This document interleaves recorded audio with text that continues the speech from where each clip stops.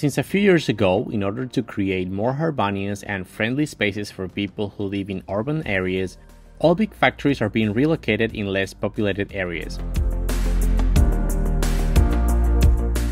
But the spaces where these old factories used to be are being rescued and reused for different purposes that benefit the people of the communities around. We are visiting another cool place in Xi'an.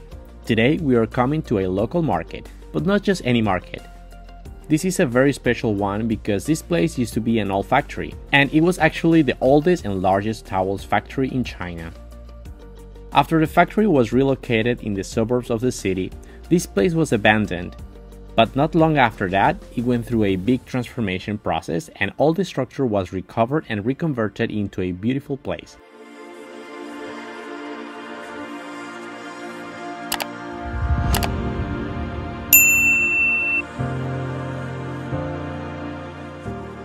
In here, there are a lot of different shops of all kinds. You can find everything from fruits and vegetables, ice creams, plants, hands and craft. There is even a special section with several pet stores with animals of all kinds. There are also plenty of nice little restaurants and cafes. This is also a place where many cultural activities are held, especially on weekends.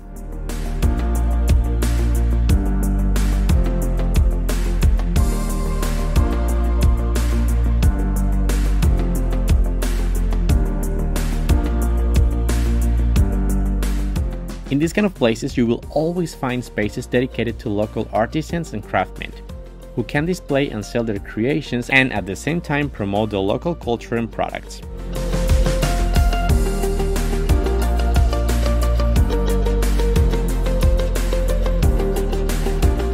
This is a product of many local policies that are being directly created and implemented to benefit the people.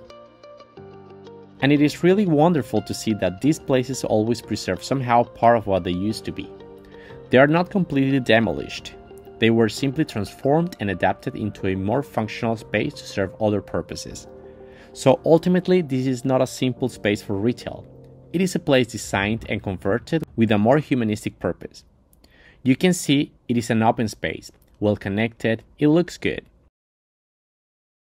I have seen these kind of places in many cities in China, and I believe nowadays they are more necessary than ever. With a more stressful and hectic rhythms in our daily lives, it is good to know that you have spaces like this where you can go and disconnect and enjoy a nice day with all the family.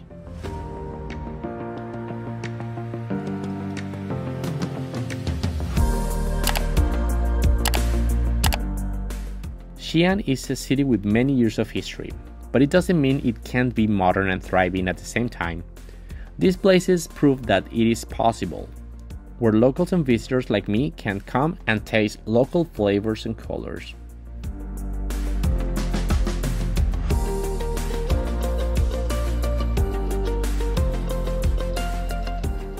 So let's take a look to some of the shops that you can find here and see what the products are offering. I see some IDs for some aunties. They are making their own products, they're handcrafted, they're handmade, and they are showcasing them for purchase. I think that is very lovely the way they are uh, stimulating local productions, local talent to make their products and get some benefit out of it. So let's take a look to see what they have there.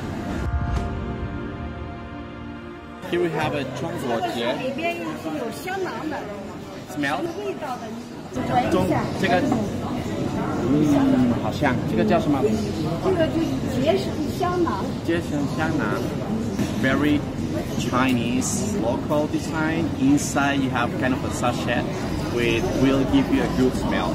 And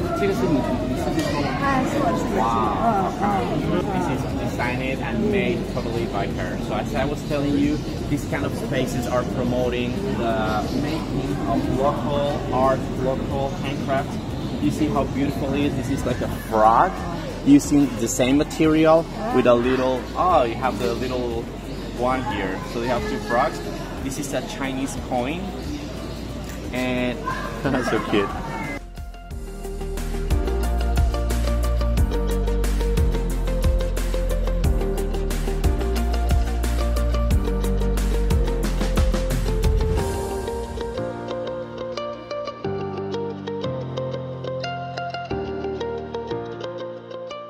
Walking around and I found another booth or another space with uh, an ayi, very talented ayi, I must say.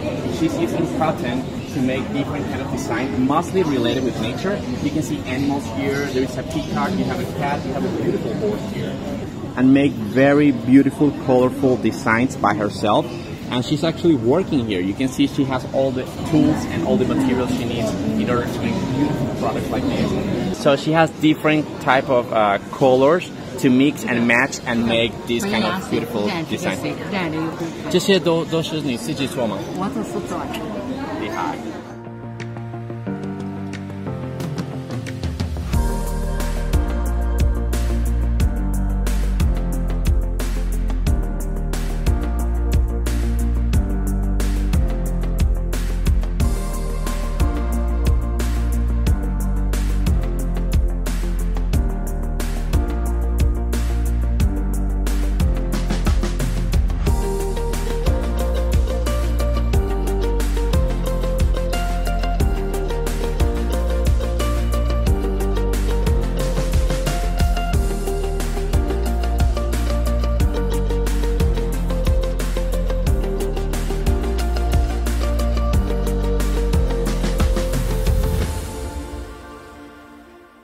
Folks, I'm gonna be wandering around nice and beautiful places here in China and documenting about it. I will also be Instagramming my day to day and my trips in this awesome country. Feel free to follow me and leave your comments and impression over there about life in China. I will leave the link to my account in the description down below. Remember to like the video, subscribe to my channel and hit the bell button so you don't miss any of my follow-up stories about what's going on in this part of the world.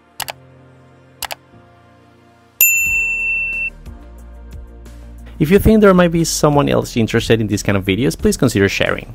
My name is Rafael, thanks for watching, and stay safe until next time.